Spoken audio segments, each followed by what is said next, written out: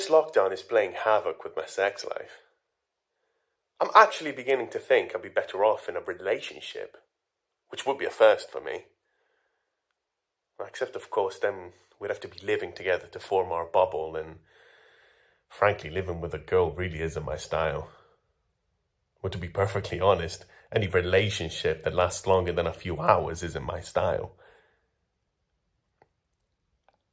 I usually meet girls on a variety of dating apps, and almost always we, well, consummate a relationship on the first date, if you can call it a relationship.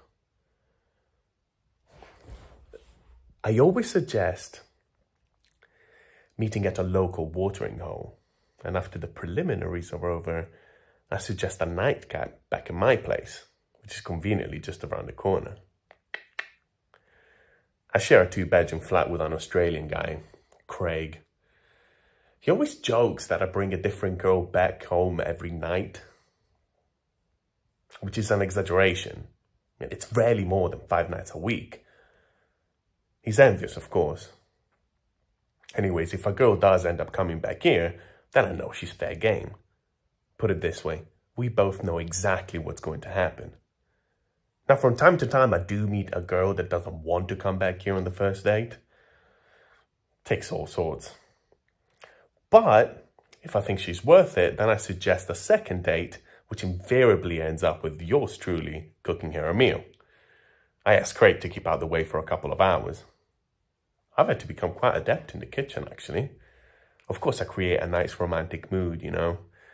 Low lights, appropriate music, sometimes even candles.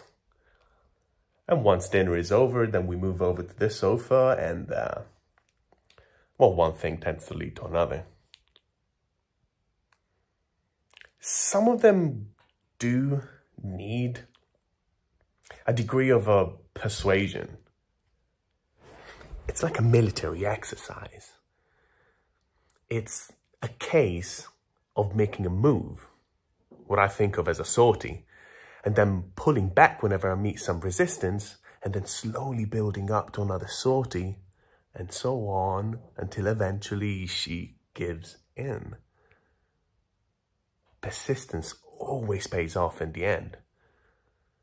And for most girls, any reluctance at first is just for show, so they don't come across as easy, which in this day and age is a bit daft, if you ask me. But whether it's genuine or not, I'm always determined to overcome their resistance. After all, aren't persistence and determination generally regarded to be good qualities? At least in a man. In a woman, they can come across as bloody-minded and strident, but I don't think I've ever pushed you hard. Put it this way. I've never had any complaints. Now, at the outset, girls often say they want more than just a one-night stand. And of course, I say the same. Um, to be perfectly honest, I would say anything to get what I want. And afterwards, I always tell them that I'll be in touch, but in reality, I always wait for them to call me. You see, if they do, then they're obviously keen. And so at that point, I tell them that I'm not ready for a one-to-one, -one, but if they're interested, perhaps we could be friends with benefits. In my experience, only about 10% of girls go for it, but that's more than enough, to be frank. I mean, after all, there are only so many hours in a day. Although friends with benefits doesn't exactly describe the situation now, does it? I mean, we're not friends. I don't do female friends. I choose my friends based on interests that we have in common. Two interests in particular, fast cars and sport, especially rugby. Now, some girls pretend that they like cars, but I don't think they do. Not really. If I ever ask their opinion about a car that I've seen in a magazine or on the street, all they can ever mention is the color. And when I meet with my uh, rugby mates or the petrol heads, it's an unspoken rule that none of us show up with a girl in tow. It would just cramp our style. We wouldn't be able to talk about the same things now, would we? Not cars, not rugby, definitely not girls. And I'm sure that girls talk about us all the time when they get together. And they probably talk about very little else. Maybe uh, shopping and hair product. Look, the truth is, there's only one thing I want from a girl. And don't get me wrong, I respect women. I really do. I just think that they have their agendas and we have ours. And women like me. They like how they have my complete attention whenever we get together. I mean, you have to seem interested, don't you? It's all part of the game. And if I'm perfectly honest, it is like a game to me. A game which one way or another, I usually win. But this lockdown has put a stop to all of that. It's a disaster. I honestly feel like I've been castrated.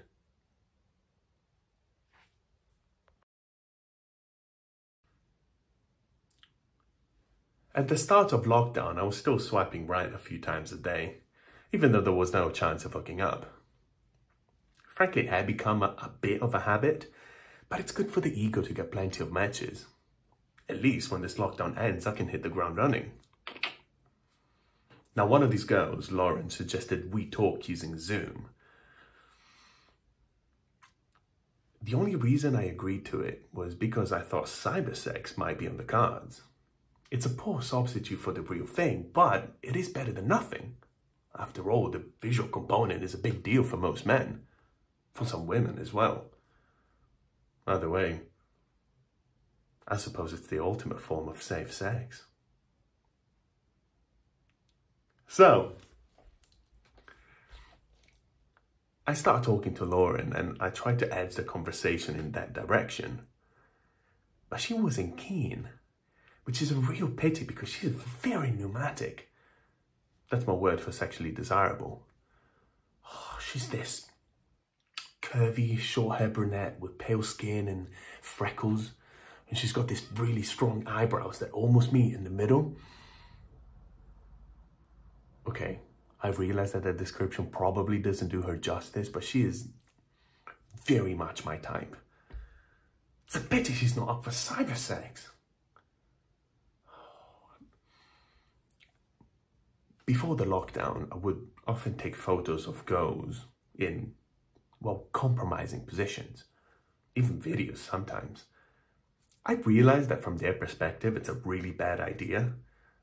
Of course, there's no way that I would show them to anybody or post them online or anything. But obviously, they can't know that for sure. I mean, they really are for my eyes only, or to be precise, for another part of my anatomy.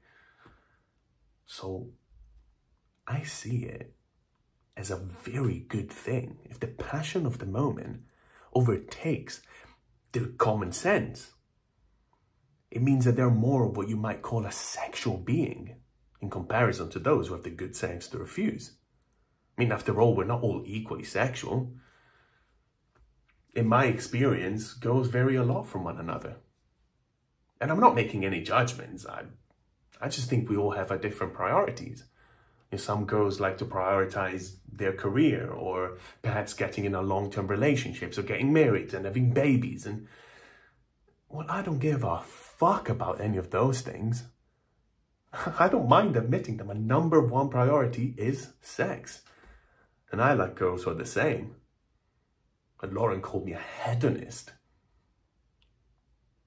well i suppose i am look there's nothing wrong with the pursuit of pleasure it's the only thing that you can really rely on. Everything else is a preamble. It's a, it's a means to an end. Show me a man who claims to value anything other than his own gratification, and I will show you a liar or a fool. This famous writer got asked on his deathbed if he had any regrets. And he said yes, not enough sex. Well, I am not going to be in that position. After all, who looks back from their deathbed and wishes they spent more time in the office? I started a law degree but flunked out, so now I'm a broker in the city. And that's like a game as well. I'm buying and selling. You win some, you lose some. Of course, you can't charm stocks and shares, but there is still a big element of persuasion involved. I have to persuade my client to trust me to identify those companies that are going to do well. Now, between me and you, they're no worse off just sticking a pin in the business page of the Financial Times.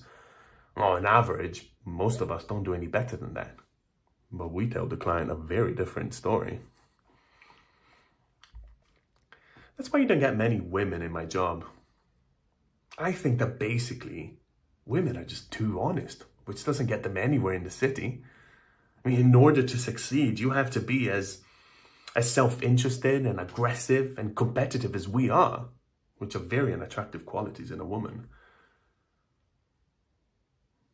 Anyways, the job pays the rent, but it's hardly a vocation, so it doesn't deserve any more than the bare minimum of my time and effort. In fact, for most of the day, my mind is on what I'm going to be doing in the evening or the weekend. I'm planning for it when the boss isn't looking. in my experience, the most the most interesting and rounded people I know have pretty undemanding jobs.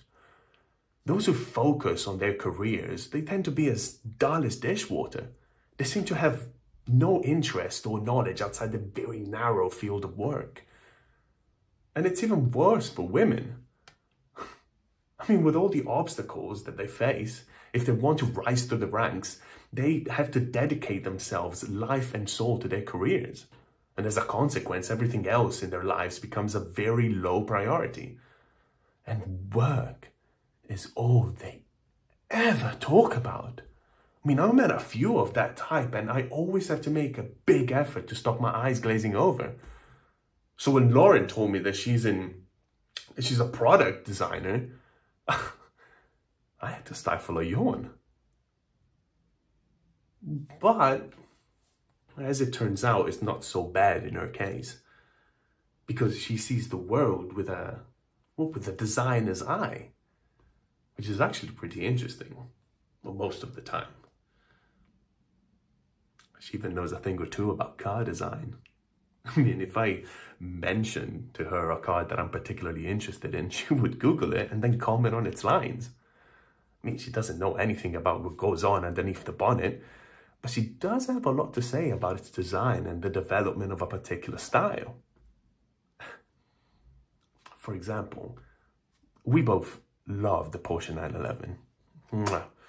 And she told me everything there is to know about its design of the earlier models going all the way back to the 1940s. I mean, I was certainly impressed. And it's not even just cars. I mean, if I tell her I want to buy a, a new smartphone or a new laptop or whatever, she would comment on the uh, visual design of all the options. So, Lauren is the rare exception to the rule a woman with a decent job who's who's actually pretty interesting to talk to.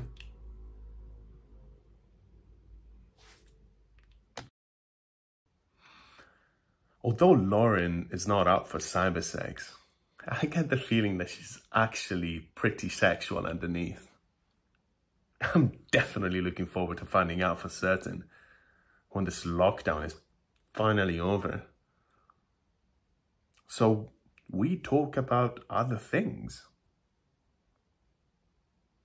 It's a unique experience for me. Normally, the main focus of a conversation with a girl is becoming intimate with her at the earliest opportunity, which means having to present myself in a particular way so that I seem to be suitable boyfriend material. So I tend to concentrate on things that a girl is most likely to find interesting. For example, it always seems to go down well if I tell them that I like nothing more than travel and top restaurants. But with Lauren, it's as if I can talk about anything. There's no point pretending to be someone I'm not. I can't keep that up forever, and this lockdown could go on for months. So, I feel like I can be completely natural with her. I mean, there's no ulterior motive, no hidden agenda. Well, at least not in the short term, and I don't do long term anyways. I can relax. It's as if I'm with one of my mates. Well, actually, to be perfectly honest, the conversation is a good deal more interesting. I mean, it's funny how I get on like a house of fire with my mates in a group, but one to one, it's it's not the same. I mean, we certainly never Zoom. I haven't had any contact with them since the beginning of lockdown. Meanwhile, with Lauren, we've been Zooming most evenings for the past six weeks now. And our conversation lasts longer than two, three hours, and we never run out of things to talk about. For example, we've been talking about all the things that we're going to do together after lockdown.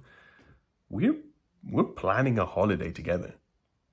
We're thinking of hiring out a Porsche and just driving off, maybe to Wales, which in my experience is the best country for good driving roads. She even wants to share the driving. I'm not sure about that. Well, maybe. As long as there's no parallel parking involved, eh?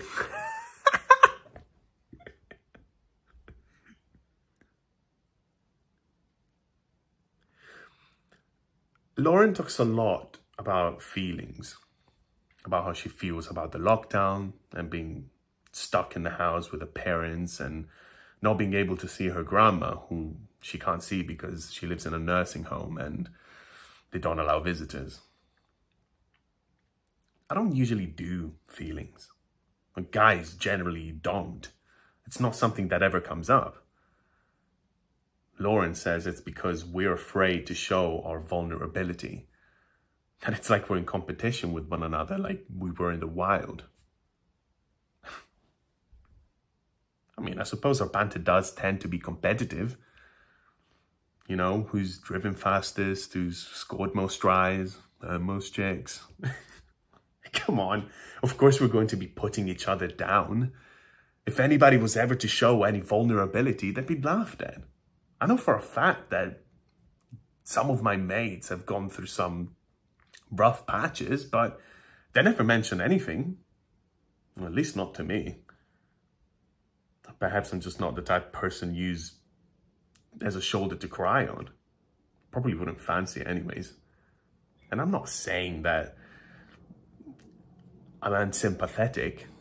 You know, just because I'm in control of my feelings, it doesn't mean that I can't understand other people's. I just, I just wouldn't know what to say. I've certainly never been the type of person that wears his emotions on his sleeve. At least not since I was a kid. But I mean, kids always give vent to all their emotions. That's why they're so fucking tiresome. But for an adult, I've always seen it as somehow self-indulgent to always let everybody know how you're feeling all the time. I don't want to burden other people with my ups and downs. Not that I have ups and downs. I'm solid as a rock. I always have been.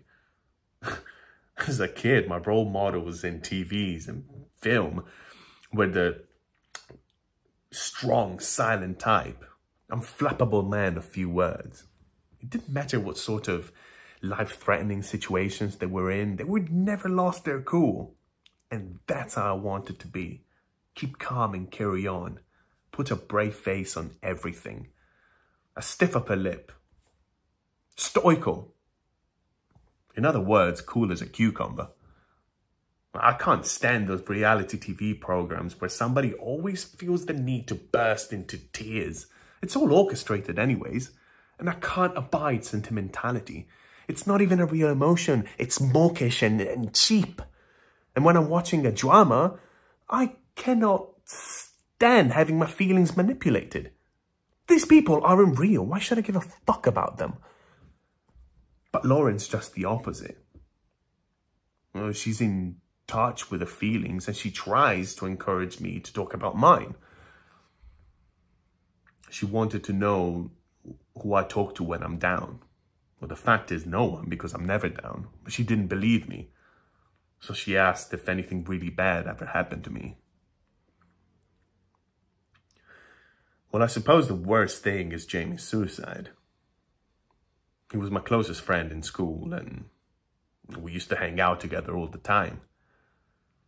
And after we finished school, he decided not to go to uni but he found uh, an office job in Swindon. He's in insurance, though was. He'd only been there for six months before he took his own life. He just seemed to have everything to live for. I mean, he was a smart, good-looking guy with a steady job and a flat of his own.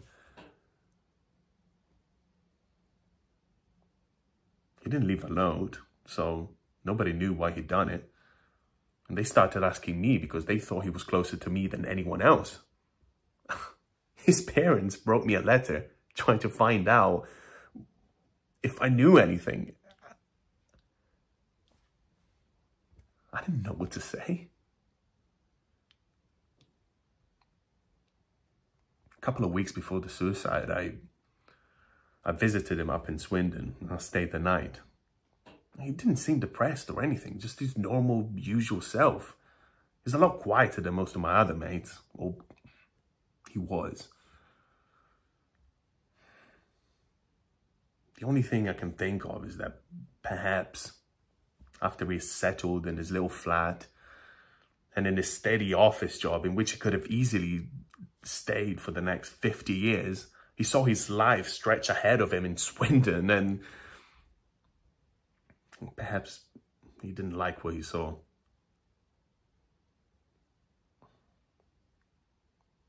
In some ways, it was always a mystery to me. He only ever had one girlfriend the entire time I knew him, and that didn't last long. I asked him about it once, and he just said that none of the girls he ever met interested him in the slightest. But the fact is that he never really put himself out there. I mean, he never used dating apps for starters, or at least not that he told me. And my other mates always make a comment when they see a hot girl. For example, if they're stacked, they would say something like, oh, you don't get many of those to the pound. Or, I'd like to take that for a test drive. You know, that sort of thing. It's just banter, and I'm no exception. It's not disrespectful. If a girl dresses a certain way, you know they're doing it to get our attention. They want to be complimented, no matter what they say about doing it for themselves. But Jamie, eh, Jamie never joined in. Like, not once. Lauren said that perhaps Jamie might have been a queer. no way, Jose. I would have known. There's no question about it. Lauren wanted to know if that would have been a problem for me, but I mean, it would have reflected on me, wouldn't it? We hung out together all the time. People would have started asking questions. And Lauren didn't seem to understand why that would have been such a big deal. Well, but it is, isn't it? Look, I know it's not politically correct to say it nowadays, but being called a queer is just about the worst insult you can throw at a teenage boy in the playground, it's still the most common form of abuse. We had two of them in our year at school. And there was something about their manner that just, it just grated on me. When they were together, they were always bitchy and sarcastic. They couldn't talk about anything without making some sort of gay innuendo and they always refer to other boys as she. One of them was as camp as Christmas. He was more feminine than most girls. He was a parody of a queer. I don't understand why some of them need to be like that. Well, the other one wasn't so bad.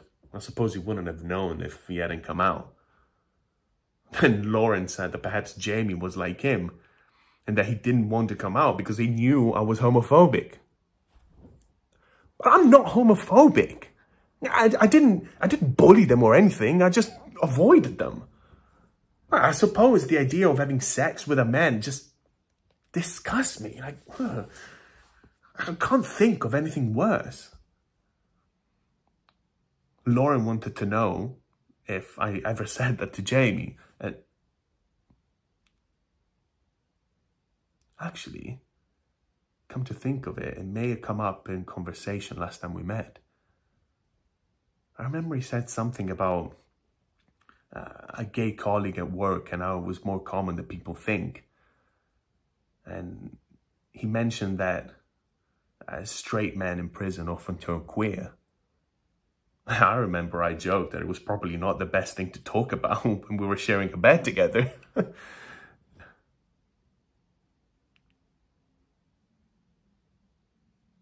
now she's got me wondering. I mean,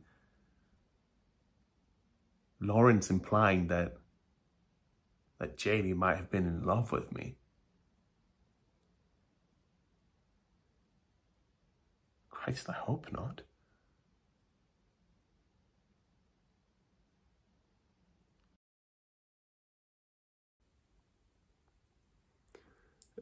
Lauren is so alive. She's got this shining intensity I've never seen in anyone before. And she's super smart. She, she's not just a doer, she's a, she's a thinker as well. She analyzes everything. She mentioned this Greek guy who said, um, he said, a life not contemplated isn't worth living. And she's just like that. She has to get to the bottom of everything. There's usually only one thing I want to get to the bottom of. My God, do we talk for hours and hours and we never get bored of each other, especially about relationships. At first, I didn't want to tell her about my usual approach to dating, one night stands and all that. But she's got this way of encouraging me to open up about all sorts of things. Things I've never talked about before. Things I've never told anyone. Especially my my fears and, and vulnerabilities.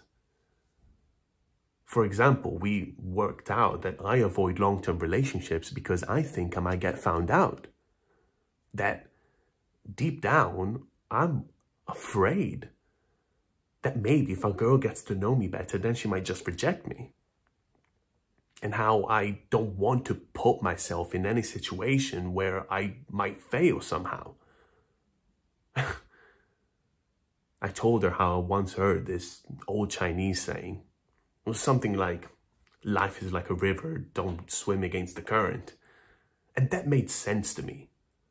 I always thought that the recipe for happiness was to recognize your strengths and your weaknesses and avoid those situations where your weaknesses might cause you to fail and seek out the situations where your strengths might allow you to succeed. Like sport in my case, especially rugby. I've always been good at sports, ever since school. When Lauren said that our society elevates children's ball games out of all proportion, that being good at kicking a sphere into a net doesn't compare to excelling at anything of importance, like achieving a successful relationship. Ouch! I mean, she's got a point, but well, she obviously doesn't know anything about rugby. She thinks that sport and trashy TV are the new opium of the people and that they dumb us down and divert us from engaging in the world around us. They're an escape from reality. Because I always thought reality was overrated. Mind you, though, it is the only place where you can get your leg over.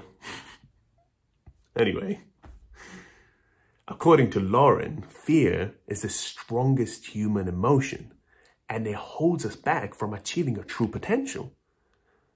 You see, she's got this, this way of probing, of getting to the nub of things. She wasn't at all impressed when I told her about my work. she said I'm just a cog in the vast capitalist machine that puts money in the pockets of those who already have more than enough and does worse than nothing for everyone else. She thinks that if I had a more worthwhile job, I would have more self-esteem and I wouldn't need to get it from sexual conquests and puerile ball games. Her words, not mine. But she might have a point. We talked about other jobs that I could do, like charity fundraising or human rights law. It's worth looking into. really talk about anything and everything. I mean, we talk about the right way to live. We talk about regrets. We talk about values. We talk about love. We talk about friendship. She encouraged me to set up a Zoom meeting with my mates. They were mostly reluctant at first, but then eventually four of them came around to the idea. And it wasn't a success. It's made me realize our conversations with my mates are so superficial, so formulaic. It's the usual repeated mantras about fast cars, sport, and hot girls. It's just variations on a theme. There's nothing new, nothing original, nothing deep. I mean, I would make a comment and I would know exactly how each one of my mates was going to respond. It was like pushing buttons on a vending machine. It was utterly predictable and unchallenging, the conversational equivalent of junk food. It's totally different with Lauren. I mean, it's so weird. We're not even in the same room, but when I talk to her, I feel more alive than I ever have before. It's like, it's like I was just going through the motions up to now. In some ways, I, feel like I've wasted my life. I mean, I might have been having a good time, but I've ignored all my feelings and I've pushed everyone at arm's length. I've immersed myself in trivia, in material things, in children's pastimes, anything to prevent myself from having to deal with real emotions, real ideas. Well, that's all going to change now. And the first step is deleting all my dating apps and try for a one-to-one relationship with Lauren. The lockdown is going to be eased soon, and we're going to be allowed to see one more person outside of our household. I can't tell you after three months of Zooming how excited I am for our first physical get-together. And I'm not just talking about sex, which is a first for me. Oh, Craig lost his job, so he's going back to Australia as soon as restrictions are lifted. And Lauren is tired of living with her parents, so we we talked about her moving in here and us forming a bubble.